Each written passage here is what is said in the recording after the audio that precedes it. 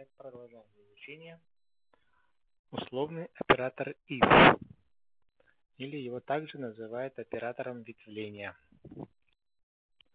То есть э, блок схемы уже начинает ветвиться э, if, потом запишем условие, then, это если выполняется это условие, идем по ветке да, выполняется оператор номер один.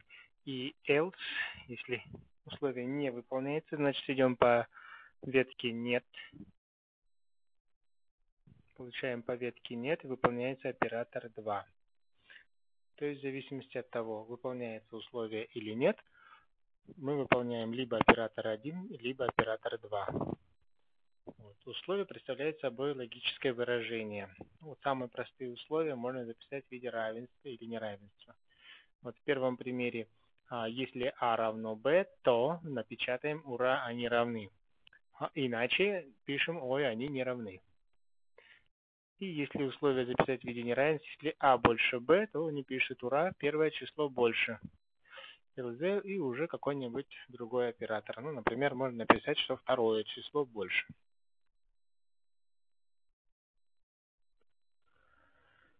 Итак, покажем на примере. Будет самая простая программа. А присвоим 1, Б присвоим 2.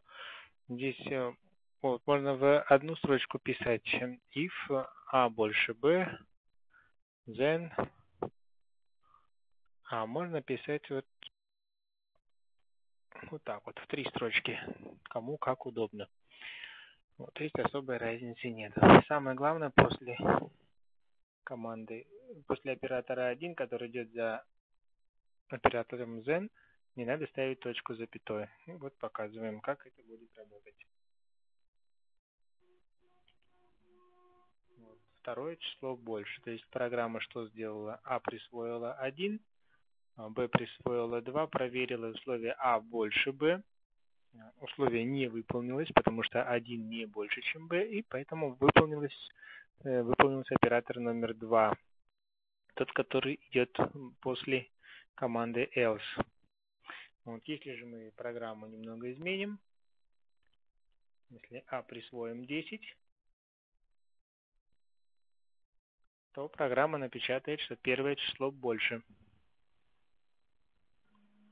То есть э, условный оператор а больше, чем b проверяет 10 больше, чем 2, а, значит выполняем оператор 1, который идет после ключевого слова then.